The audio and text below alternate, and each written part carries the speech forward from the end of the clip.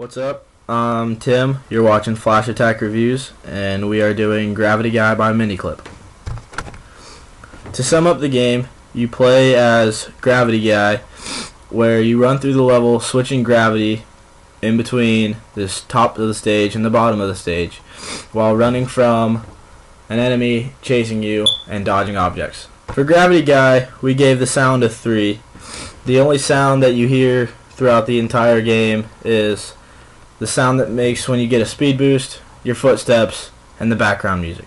The background music isn't too bad. The only thing that's wrong with it really is that it's really repetitive and just kind of loops. For graphics, we gave it a 4 because the images are really sharp for a Flash game and there's no pixelation whatsoever.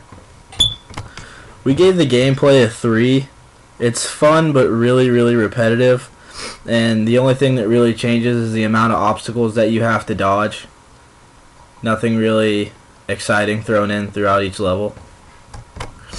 For the challenge, we gave it a 2 because it's really hard.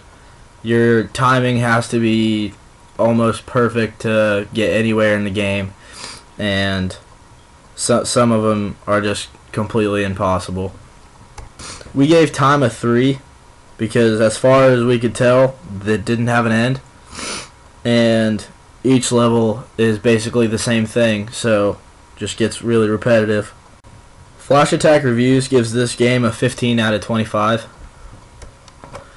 Thanks for watching Flash Attack Reviews. Don't forget to subscribe.